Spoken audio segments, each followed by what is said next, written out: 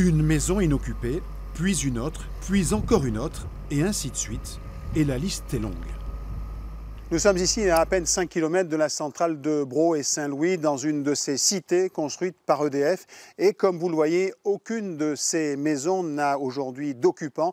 Certaines de ces cités ont été construites il y a plus de deux ans. Et dans beaucoup de communes aux alentours de la centrale nucléaire, la situation est la même, des maisons neuves et toujours pas d'occupants.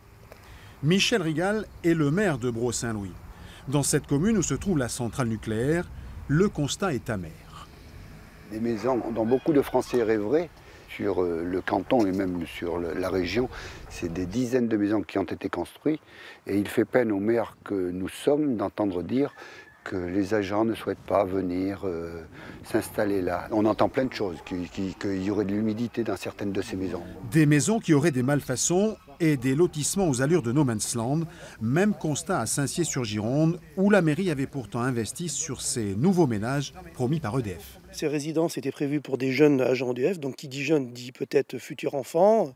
Donc dans notre programme, on avait prévu d'augmenter l'école maternelle. Les arbres qui ont été plantés sont quasiment tous morts. Les espaces verts, même en partie privée, des maisons inoccupées n'ont pas été entretenus. Dans le Blayais, ce scandale immobilier ne passe pas inaperçu au sein d'une population confrontée à la crise du logement. Je ne sais pas qui, qui a payé, mais c'est certainement nous aussi, oui, bien sûr.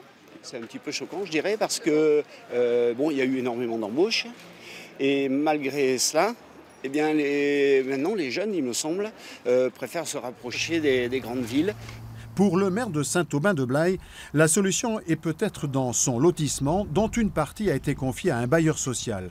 Comme tous ses confrères, il souhaiterait que DF rétrocède la gestion de ces maisons vides à Gironde Habitat. Il y a eu 22 maisons, 22 euh, maisons qui ont été construites dans ce programme-là, 10 euh, pour Gironde Habitat qui sont occupées aujourd'hui et qui ont été occupées très rapidement, et puis 12 donc pour EDF euh, e qui pour l'instant, bah, vous le voyez bien, elles sont vides.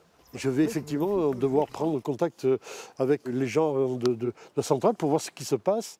EDF, justement, la direction n'a pas souhaité nous recevoir. Alors l'explication que l'entreprise n'a pas voulu assumer, nous l'avons sans doute trouvée ici à Plassac, où le taux d'occupation est de 100%.